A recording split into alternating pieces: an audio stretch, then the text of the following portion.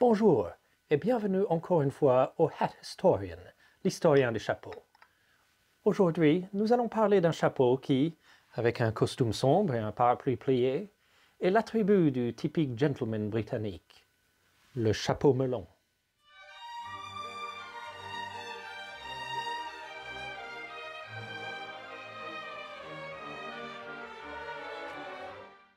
Un chapeau court, rigide, à bord plat avec une calotte bombée, le chapeau melon est une icône anglaise, bien qu'aussi très populaire dans d'autres pays du monde. Pendant des décennies, il était le chapeau quotidien d'ouvriers aux banquiers, et il était omniprésent dans un lieu où sa mémoire a été éclipsée par un autre couvre-chef, le Far West américain. Il a coiffé les têtes de beaucoup de stars de l'aube du cinéma, tels que Charlie Chaplin ou Laurel et Hardy, et est devenu un élément de la tenue traditionnelle des femmes de Bolivie. Alors maintenant, examinons l'histoire de ce chapeau. Bien que des chapeaux bombés ont existé depuis des siècles, avec notamment le célèbre chapeau traditionnel breton, qui ressemble à un chapeau melon à très large rebord, le chapeau melon tel qu'on le connaît aujourd'hui a ses origines sur la propriété de William Coke, deuxième comte de Leicester, à la fin des années 1840. Ces gardes-chasse se plaignaient en effet que les hautes formes avec lesquelles ils étaient coiffés, comme le voulaient les normes de l'époque, avaient une tendance à être renversés par des branches d'arbres lorsqu'ils patrouillaient la propriété à cheval, et ils étaient abîmés lorsqu'ils tombaient à terre. Edward, le frère de William, se mit à réfléchir à une solution, et approcha en 1849 la célèbre chapellerie londonienne Lock Co., qui existe toujours d'ailleurs. Les chapeliers de la boutique furent engagés pour créer un chapeau bas, pratique, qui pouvait passer sous les branches et serait assez rigide pour protéger la tête des chocs. Les chapeliers Thomas et William Bowler, qui donnèrent à ce chapeau son nom anglais de bowler hat, s'obligèrent. Et en décembre 1849, M. Coke revient pour prendre possession de sa commande. Selon les légendes, lorsque le chapeau lui fut remis, il le plaça à terre et pila deux fois dessus avec force, sans réussir à l'abîmer, et satisfait de sa solidité, paya la somme de 12 shillings, ou environ 50 livres aujourd'hui. Ainsi naquit le premier chapeau melon. Son nom français, on le notera, vient bien prosaïquement de sa vague ressemblance aux dix fruits lorsque coupés et posés sur une assiette. Ce couvre-chef, qui à l'origine était nommé le Cook Hat, selon une tradition de chez Locke de nommer leur création après ceux qui l'ont commandé, se montra rapidement un franc succès. Sa calotte basse le rendit très stable lorsqu'il était confronté au vent ou à des obstacles, et les frères Bowle commencèrent à le commercialiser sous leur propre nom. Il devint très populaire auprès de la classe ouvrière, qui aimait sa forme proche de la tête, et la rigidité du feutre qui offrait une légère protection. Pendant longtemps, il était plus probable de voir un melon sur la tête d'un ouvrier que d'un banquier, qui à cette époque préférait encore le haut de forme. Le chapeau melon se répandit en Europe, y compris en France. Mon propre grand-père en possédait un pour sa tenue du dimanche et finit par arriver en Amérique, où il prit le nom de Derby, car il était souvent porté aux courses de chevaux. Là-bas, il devint très populaire auprès d'ouvriers construisant les chemins de fer, ainsi que beaucoup de cow-boys. Le célèbre Stetson et son large rebord sont l'image qui vient à l'esprit maintenant lorsque l'on pense au Far West.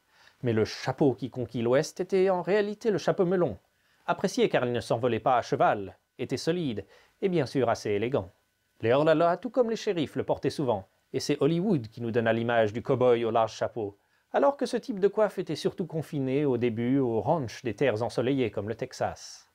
Bien qu'à l'origine surtout porté par les classes populaires, ceux-ci finirent par le remplacer par des casquettes plates qui étaient faciles à ranger dans la poche. Nous en parlerons dans une autre vidéo. Le rigide melon migra vers les classes plus aisées des villes et devint le chapeau de rigueur de banquiers, avocats, fonctionnaires et hommes d'affaires, particulièrement dans la City de Londres, d'où son association avec l'image de l'anglais typique. On peut voir cette image dans le personnage de Mr. Banks du célèbre film Mary Poppins, qui plus tard voit même son melon détruit dans une espèce de cérémonie de dégradation de la banque. Cette place accordée au melon parmi les hommes de classe continua jusqu'à la Première Guerre mondiale, lorsqu'ils commencèrent à être remplacés par des chapeaux plus souples tels que la fedora, et se retroussa dans les cercles plus traditionnalistes. Dans le monde du cinéma, il fut également très populaire au début du XXe siècle, surtout comme accessoire pour des personnages comiques tels que le Charlot de Chaplin ou le duo célèbre de Laurel et Hardy. Les chapeaux melons bruns sont parfois utilisés dans des films se déroulant dans le passé, et même dans des dessins animés qui utilisent des personnages typés, comme un indicateur d'une grosse brute, souvent accompagnée d'un gros cigare. De l'autre côté des personnages, il peut aussi indiquer une sophistication britannique, comme le personnage de Patrick McNee dans Chapeau melon et bottes de cuir, où le chapeau apparaît même dans le titre français, ou sur beaucoup de valets. Il est enfin bien célèbre dans le monde francophone comme étant le chapeau de Dupont et Dupont, les fameux policiers amis de Tintin. La fin de son ère de prépondérance fut, comme hélas pour la majorité des chapeaux, les années 60, lorsque les codes vestimentaires plus détendus devinrent la norme et les hommes n'avaient plus à se couvrir. Seuls quelques irréductibles continuèrent à porter quotidiennement, et vers la fin des années 70, il avait quasiment disparu. Quasiment, mais pas complètement.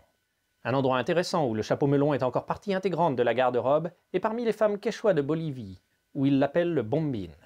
Selon la légende, un ambitieux chapelier anglais avait envoyé un grand lot de chapeaux melons au pays pour les ouvriers britanniques qui construisaient un chemin de fer. Mais, malheureusement, ils étaient trop petits, ou de la mauvaise couleur selon l'histoire. Un vendeur local récupéra le lot et le vendit aux femmes locales, prétendant que c'était la dernière mode européenne, portée haut sur la tête. Depuis, il est devenu un élément du costume local, porté fièrement, et selon une coutume locale, est porté droit et haut lorsque la femme est mariée, et penché sur le côté si elle est célibataire ou veuve. Dans son pays d'origine, l'Angleterre, et d'autres pays d'Europe, on voit rarement des gens porter le chapeau melon. Mais il reste un élément de la tenue formelle des anciens officiers de la cavalerie britannique, avec naturellement le parapluie. Certains amateurs de chapeaux essayent de lui donner une seconde vie, en essayant de capturer ce look si traditionnellement anglais. Et il est un accessoire de mode parmi certains groupes comme des hipsters ou des femmes qui veulent un look un peu moins classique. La version colorée, moins formelle, est aussi populaire parmi les groupes de jazz qui veulent évoquer des tenues d'entre-guerres. Et des versions vertes bon marché sont souvent portées dans des festivals irlandais. Une version avec une grande plume est également portée comme coiffe d'apparat des gardes royaux norvégiens, qui l'adoptèrent à la demande de la princesse Louise en 1860, qui voulait un chapeau pour ses gardes qui pouvaient rivaliser avec les bersaglieri italiens qu'elle avait vus en voyage.